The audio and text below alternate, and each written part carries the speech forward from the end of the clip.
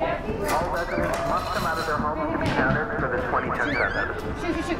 Wait, wait. Please come out and be counted now. Please come out of your homes to be counted for the 2010 census. Where I come from, where your mother comes from, we didn't talk about our bodies.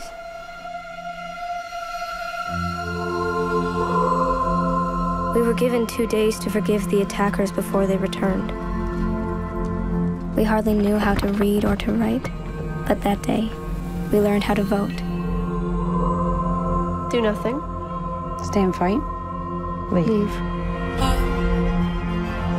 If we do not forgive these men, we forfeit our place in heaven.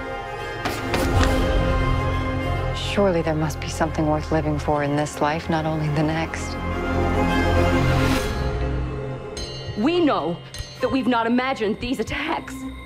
We know that we are bruised and infected and pregnant, and some of us are dead. We cannot forgive because we are forced to. Who are you? Who are any of you to pretend I have had a choice? That we must protect our children.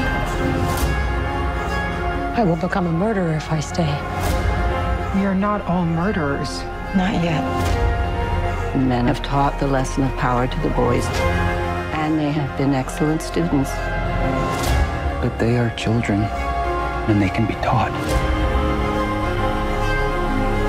Have we made a decision? Our choice will be your future.